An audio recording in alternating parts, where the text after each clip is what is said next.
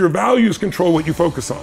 So your focus is controlled by your values and your belief systems. So those three decision-making things, you know, what I'm going to focus on, what does it mean, what I'm going to do. And one good example of this, Jay, is so let's say most people have a focus either on what they have or what's missing. We all do both. Mm-hmm. But what do you think most people focus on more often? What they have or what's missing? What's missing? That's right. Now, even achievers do that. Mm-hmm. Like it's not like somebody who's not successful. It's one of the reasons you see these achievers that no matter what they do, it's never enough. Because think about it, if you're always focusing what's missing from your life, how can you sustain happiness? Mm-hmm. It's software that will not allow that.